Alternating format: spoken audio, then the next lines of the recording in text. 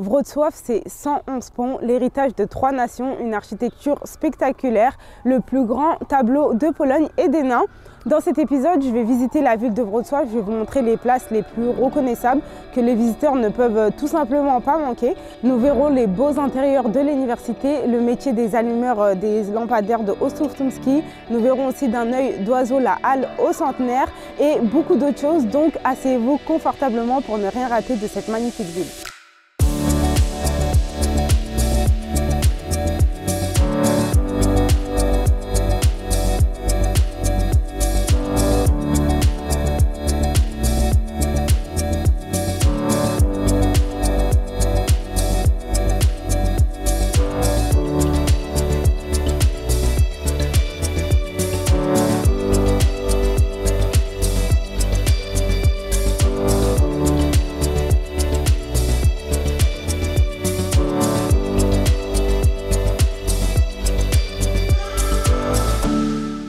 De ville de Wrocław, elle est appelée la perle de l'architecture de la région de base euh, Silesia.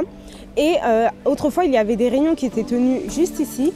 Maintenant, euh, à l'intérieur du bâtiment, il y a un musée d'art qui est concentré sur les artisans de Wrocław. Le bâtiment aussi, il est situé au milieu de la place du marché. Si vous êtes en visite à Wrocław, c'est impossible de le rater parce que vraiment, il est imposant au niveau de la place du marché et euh, le bâtiment il est considéré comme l'un des plus importants de la ville. L'hôtel de ville de Wrocław a été tellement apprécié par les historiens qu'elle était considérée comme un trésor pour la Pologne et aussi pour l'Europe. Peut-être que c'est parce que sa construction a pris 250 ans et elle a reçu sa forme finale à la fin du 15e siècle. On peut aussi voir des personnages liés au christianisme sur les murs. Également sur la frise, on peut voir euh, des animaux, des duels de chevaliers et des scènes de chasse. Sur la façade est se trouve une horloge astronomique qui indique les phases de la Lune. Franchement, c'est très intéressant et c'est la première fois que je vois quelque chose comme ça. Sur le bouclier doré, on peut voir des symboles euh, égyptiens. Le symbole de l'hiver, par exemple, c'est la lettre T à deux pattes.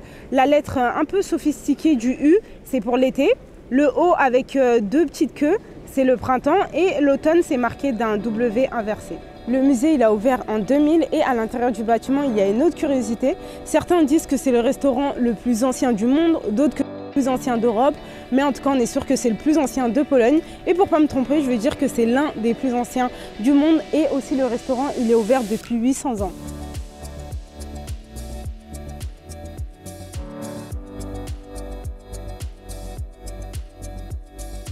L'université de Wrocław, c'est l'une des plus anciennes et l'une des plus grandes universités de Pologne.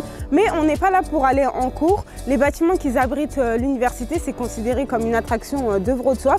Je ne vais pas vous en dire plus, je préfère laisser la parole à des vrais professionnels.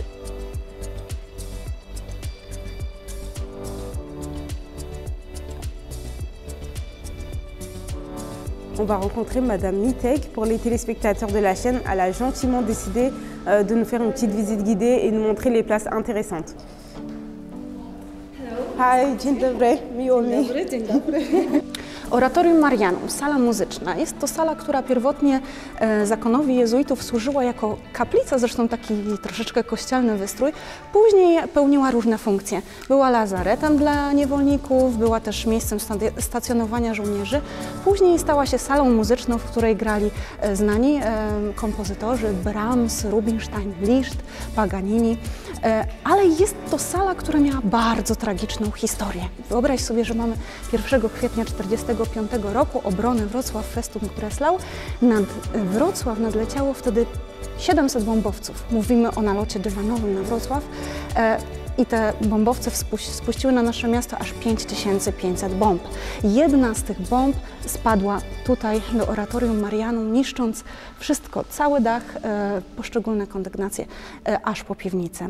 Po wojnie profesorowie z Lwowa z grupy naukowo-kulturalnej na czele z profesorem Stanisławem Kulczyńskim, późniejszym pierwszym rektorem Uniwersytetu i Politechniki we Wrocławiu, przyjechali tutaj do Wrocławia i zobaczyli e, ruiny tego gmachu, ruiny oratorium e, Marianum. Postanowili, że muszą podnieść ten uniwersytet z gruzów, tak by studenci i studentki mogli rozpocząć już wkrótce naukę na uniwersytecie.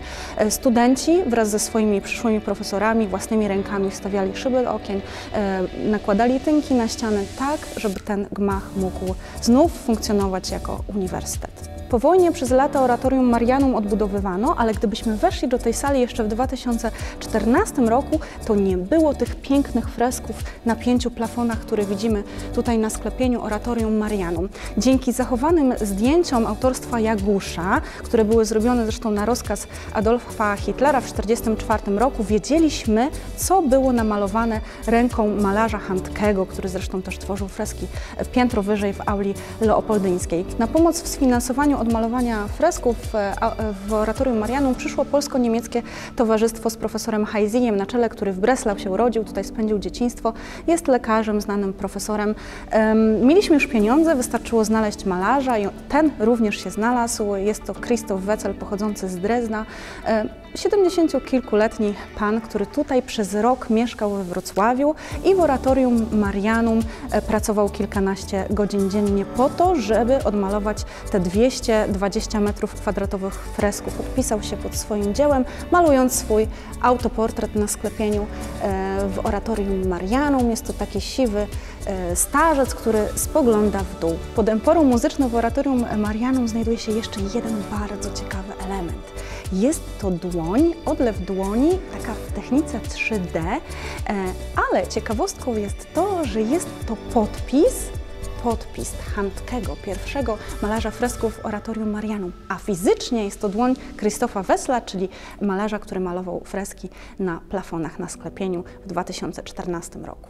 Na schodach cesarskich, przy, zaraz przy wejściu do auli leopoldyńskiej mamy dwie fotografie i jedna z nich, ta wyżej, jest zrobiona w maju 1945 roku i ona doskonale pokazuje, jak budynek, jak ma Główny Uniwersytetu Wrocławskiego e, wyglądał po bombardowaniu 1 kwietnia 1945 roku. Oratorium Marianum, sala muzyczna, znajduje się tutaj na parterze. Jak widać na górnym zdjęciu, e, no, bardzo ucierpiał dach i wszystkie kondygnacje podczas bombardowania 1 kwietnia. Aula Leopoldyńska natomiast znajduje się tu na pierwszym piętrze i można powiedzieć, że wojna ją oszczędziła, e, dlatego możemy ją oglądać w 90% z oryginalnym barokowym wystrojem. Zatem zapraszam Cię do naszej auli leopoldyńskiej, perełki baroku, sali, która jest oryginalna, barokowa i cudowna. Aula Leopoldyńska, perełka baroku, jedyne takie oryginalne świeckie, w 90% oryginalne barokowe wnętrze mm, na Śląsku. Tutaj dziś odbywają się największe uroczystości akademickie. Tu tutaj inaugurujemy rok akademicki, tu absolwenci i absolwentki odbierają swoje dyplomy, tu doktorat honoris causa e, odbierała polska noblistka Olga Tokarczuk, poeta Tadeusz Różewicz, Wacław Havel czy Jan Nowak-Jeziorański. Za czasów Akademii Leopoldyńskiej w auli leopoldyńskiej odbywały się wykłady dla studentów. Czyli Akademia Leopoldyńska miała tylu studentów i studentek, ile miejsc w ławkach w auli leopoldyńskiej. Aulę leopoldyńską tak naprawdę czyta się jak książkę. Jest ona miniaturą świątyni Salomona, króla, który kojarzy się z mądrością. Mądrość jest to cecha, która jest przypisana do, do naukowców, do studentów, którzy tutaj e, studiowali w Akademii Leopoldyńskiej i teraz na Uniwersytecie Wrocławskim. Na środku sklepienia w części audytoryjnej auli leopoldyńskiej znajduje się gołębica.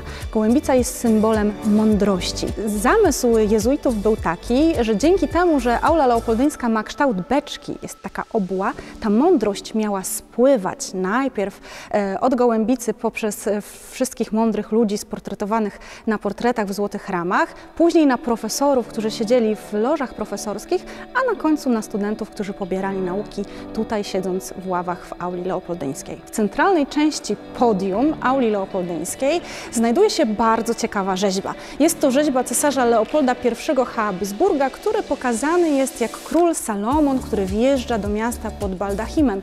Po obu stronach cesarza Leopolda I widzimy rzeźby, które symbolizują cechy negatywne i pozytywne. Jedyną nieoryginalną częścią wystroju auli leopoldyjskiej są obrazy. W czerwcu 1997 roku najprawdopodobniej dwóch mężczyzn weszło po piorunochronie przez okno od strony Odry do auli leopoldyńskiej i wykroili nożykiem do tapet osiem obrazów. Dwa z nich zniszczone, ale udało się znaleźć. E, odrestaurowaliśmy je i to są te dwa obrazy, które wiszą tutaj przy wejściu. Pozostałe sześć to są kopie. A teraz zapraszam Cię na taras widokowy wieży matematycznej. Na wieży matematycznej Uniwersytetu Wrocławskiego do lat 20. XX wieku mieściło się obserwatorium astronomiczne, a do dziś tutaj znajduje się urządzenie, które astronomom służyło do mierzenia południa. W ścianie gmachu głównego znajdował się otwór i w samo południe promień słońca wpadał przez otwór i padał na linię południkową. Dzięki temu astronomowie dokładnie wiedzieli, kiedy wypada południe. Na tarasie widokowym wieży matematycznej znajdują się cztery figury, które symbolizują pierwsze nauki wykładane na Uniwersytecie Wrocławskim. Jest to prawo, filozofia, medycyna i teologia.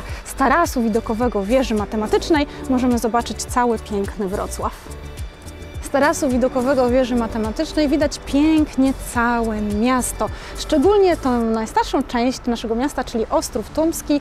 Z wieży matematycznej dokładnie widać dwie wieże katedry, również e, cały kampus grunwaldzki, plac grunwaldzki, a nawet halę stulecia, która znajduje się jakiś e, kawałek stąd. E, przy dobrej pogodzie z jednej strony widać nawet góry. Na placu uniwersyteckim, tuż przed gmachem głównym uniwersytetu, stoi zupełnie wyjątkowa fontanna. Jest to fontanna z szermierzem, a szermierz jest symbolem wszystkich studentów Wrocławia. Z szermierzem wiąże się pewna legenda. Berliński artysta-rzeźbiarz Hugo Lederer przyjechał tutaj do Wrocławia, żeby na Uniwersytecie Wrocławskim studiować sztukę.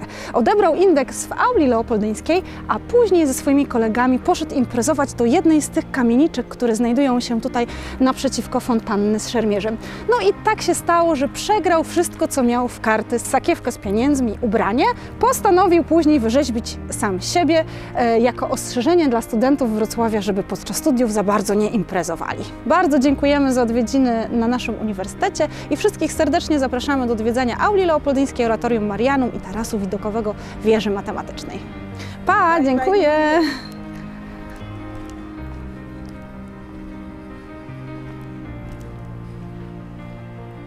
Plus de 10 millions de personnes ont déjà visité euh, ce bâtiment et parmi elles, il y avait le premier secrétaire chinois qui était très inspiré par qu'est-ce qu'il voyait et de retour en Chine, il a ordonné que de nombreux ouvrages euh, similaires soient réalisés. Mais qu'est-ce qu'il y a à l'intérieur? Eh bien, c'est l'image la plus reconnaissable de Wrocław et peut-être même euh, de toute la Pologne. Le panorama Raspowicka, il a été peint en 1894 et d'abord il a été présenté à Lviv, mais par rapport à la perte de ses terres au profit de l'Union soviétique, il a été ramené à Wrocław. Pour présenter le panorama ils ont dû construire une grosse structure qui est en forme de cercle. Pour des raisons politiques, le panorama il n'a pas été vu pendant très très longtemps et en fait il représente la bataille dans laquelle les Polonais ont vaincu les Russes.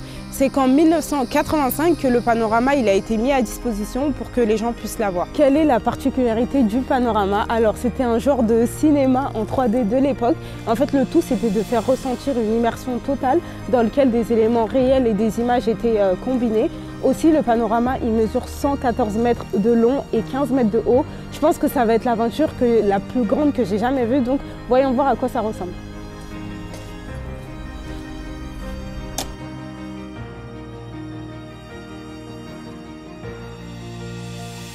On a payé un équivalent de 100 OT et franchement c'est un peu cher quand même donc j'espère que ça vaut le coup.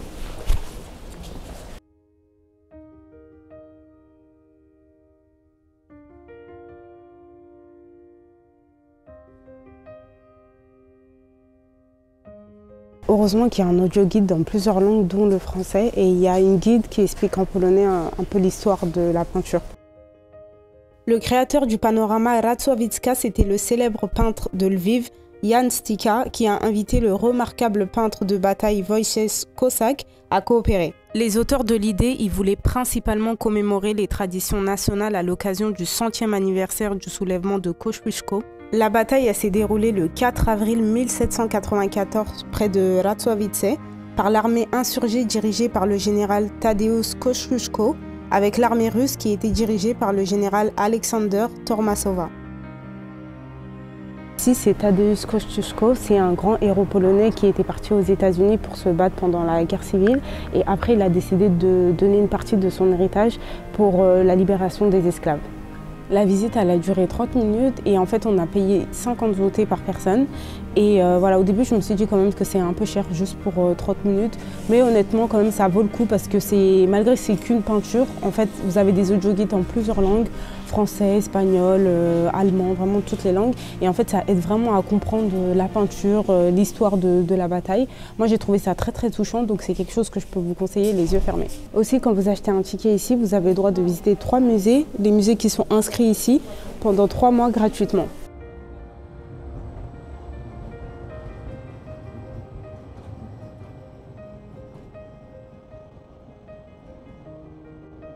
La salle du centenaire, c'est probablement le bâtiment architectural le plus reconnaissable de Wrocław. Il a été construit en 1913 et il a été inscrit sur la liste du patrimoine mondial de l'UNESCO.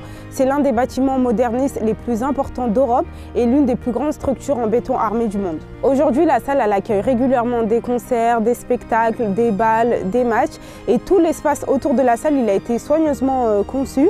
Aussi, devant la salle, on peut trouver les plus grandes fontaines euh, multimédia de Pologne. Les spectacles sont accompagnés de musique classique ou électronique. En plus du grand nombre de cours d'eau, on peut voir ici des feux d'artifice qui s'harmonisent avec la lumière et l'eau. Et à cette époque de l'année, malheureusement, tout est fermé. La salle du centenaire a pu accueillir jusqu'à 10 000 personnes et ça a été construit par l'architecte allemand Max Berg. À cette époque, toute cette région, ça faisait partie de l'Allemagne. Et après que la Pologne ait regagné la région en 1948, ils ont décidé de construire cette grande flèche qui avait pour but de symboliser euh, l'effort de la reconstruction de la région par euh, la population polonaise. La flèche a été faite pour l'exposition des territoires récupérés, ce qui était d'une grande importance pour les communistes de l'époque. À l'intérieur, on y trouve un centre d'accueil, une exposition interactive pour ceux qui veulent en apprendre plus sur l'histoire. Également, on y trouve des innovations technologiques comme les réalités virtuelles. L'ensemble, c'est un mélange intéressant de monuments historiques où se déroulent euh, des événements et également c'est un lieu de repos et de détente pour les résidents locaux. Toute la zone elle est entourée par la pergola, c'est une structure de 640 mètres de long. En été, vous pouvez aussi vous cacher euh, du soleil et l'ensemble de cet espace, il se trouve pas loin du plus grand parc de Wrocław. En été, c'est vraiment un endroit digne d'attention.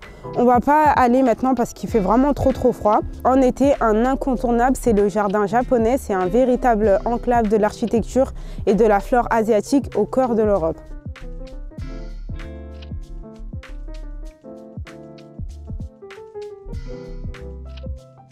Avec ce froid, franchement, ça fait du bien de faire une petite pause avec un petit chocolat chaud.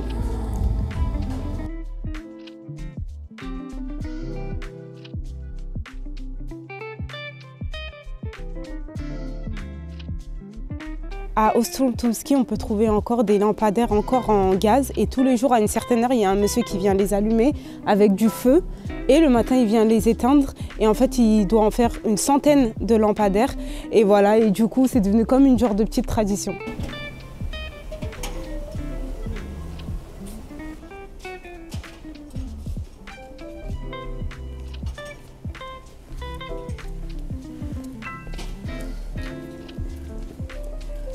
Est venu faire une balade autour de Ostrov Tumski la nuit parce que franchement c'est joli, il y a des petites lumières, l'architecture aussi elle est pas mal. Du coup c'est vraiment une place que je vous recommande. Aussi on va mettre des photos de drone de la journée. Ça peut être un peu bizarre mais c'était la seule manière de faire. On n'a pas pu faire euh, autrement.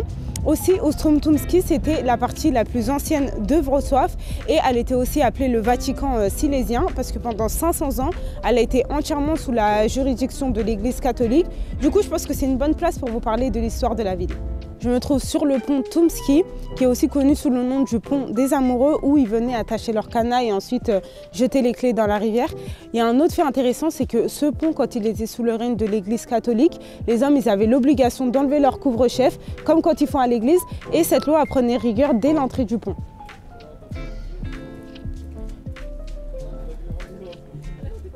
Certains relient les débuts de Wrocław à l'ancienne ville appelée euh, Boudorgis, qui était située ici au IIe siècle après Jésus-Christ. Et il y a une divergence à savoir si Wrocław c'était sa continuité directe ou si elle était euh, située à 40 km en amont de la rivière. Les habitations documentées de la région de Wrocław euh, remontent au VIe siècle et Wrocław c'était très important dans la carte médiévale d'Europe parce qu'il y avait deux routes commerciales qui traversaient la ville. Il y avait la Via Regia qui s'étendait de l'Espagne à la Russie et la la route de l'Ambre de la mer Baltique à la péninsule des Apennins. Je me trouve juste devant la statue de Jan Nepomucen qui était un vestige de la domination tchèque et aussi traditionnellement il pensait que euh, les premières constructions d'un château à Wrocław ont été construits par le prince tchèque. Mais récemment, il y a eu des recherches qui montrent que les premières constructions d'un château ont été construites après sa mort. C'était important et il y a une genre de petite concurrence entre les Polonais et les Tchèques pour savoir qui a fondé la ville. Mais en tout cas, on sait que la première forteresse, euh, Mieszko Ier l'a construite et c'était pendant que euh, toute la région était sous le règne de la dynastie Piast. Remontons quelques siècles en arrière pour savoir à qui appartenait vraiment euh, Wrocław. Alors pendant la plus longue période, c'est-à-dire 500 ans, Wrocław était sous euh, domination tchèque. Ensuite, pendant 400 ans, elle était sous domination polonaise et pendant un peu plus de 200 ans sous domination allemande. Pendant que Wrocław était sous domination tchèque, c'était une ville très indépendante et il l'appelait même la ville tchèque habitée par euh, des Polonais. Le caractère euh, allemand de la ville y est marqué parce qu'ils ont immigré en masse et constituaient même une grosse partie de la population. L'écrivain Jan Neoda, a même qualifié la ville de perfide et infidèle. Avant 1945, Wrocław était sous domination allemande et c'est pour cette raison qu'ils ont laissé une grosse touche dans l'architecture de la ville d'aujourd'hui. Chacune des trois nations qualifiera son rôle de plus important dans la ville, mais en tout cas on ne peut pas nier le fait que Wrocław c'est la ville qu'elle est aujourd'hui grâce à trois nations et c'est ce qui fait son charme et ce qui enrichit cette ville. Le bâtiment le plus ancien d'Ostrów c'est l'église Saint-Gilles, juste ici. C'est un mélange de style romain et style euh, gothique. Aussi à Ostrów-Tumski, vous pouvez trouver ce qui reste du château Piast, mais pour ça, il faut prendre rendez-vous au téléphone ou par mail parce que ça se trouve euh, au sous-sol d'un monastère. On a aussi l'église la plus impressionnante et la plus célèbre de Wrocław, c'est l'archicathédrale Saint-Jean-Baptiste, juste ici. Et c'est la première en Pologne dans un style euh, entièrement gothique. Aussi, elle mesure 97 mètres de haut et vous pouvez monter tout en haut pour avoir la vue sur toute la ville. L'histoire a été un peu plus brutale parce que l'église a été euh, détruite plusieurs fois à cause des guerres et des incendies. Et au moment de la reconstruction, il y avait toujours une petite touche qui était euh, ajoutée. C'est pour cette raison que les églises en Pologne, ils ont différents styles architecturaux des fois. Et euh, sur les plus anciennes, c'était comme des livres où on pouvait lire les histoires des guerres. À l'intérieur se trouvent des chapelles gothiques et baroques. L'orgue, qui a été construit à l'origine en 1913 dans la salle du centenaire, a également une histoire très intéressante. Et à l'époque de sa construction, c'était le plus grand orgue du monde. Malheureusement, certaines d'entre elles ont été pillées pendant la Seconde Guerre mondiale et après avoir été déplacées dans la cathédrale, il a fallu les reconstruire. On comptait faire des beaux cadres avec les lumières de cette cathédrale, mais malheureusement, à 22h, toutes les lumières sont éteintes. Donc, un petit conseil, si vous voulez faire une petite balade à Ostrów venez avant 22h parce que sinon, vous allez voir plus rien. Des personnages célèbres de l'époque ont visité ou même vécu à Ostrów-Tumski comme euh, Nicolas Copernic ou le célèbre euh, séducteur Giacomo Casanova. Lui, il a été invité par un prêtre euh, dans la ville et en venant, sa visite, ne s'est pas vraiment passée comme prévu. Il est tombé amoureux d'une fille, il est reparti avec elle. La fille a pris son argent, elle l'a juste abandonné, elle est partie avec un autre homme et elle lui a laissé comme cadeau une maladie vénérienne. On peut voir qu'il s'est fait arnaquer à Ostrów-Tumski. Autrefois, Ostrów-Tumski, c'était une île. Le mot euh, Ostrów, ça veut dire île. Et au 19e siècle, une partie de la rivière, elle a été recouverte par le sable. Et du coup, depuis ça, Ostrów-Tumski, ça a cessé d'être une île. Si vous aimez notre contenu et notre travail, n'oubliez surtout pas que vous pouvez nous soutenir sur la plateforme euh, Patreon. Mettez un petit pouce like, abonnez-vous et n'oubliez surtout pas d'activer la petite cloche pour ne rater aucune prochaine épisode super intéressant de Bambi Travail Vlog. Et on se dit à la prochaine dans une autre vidéo.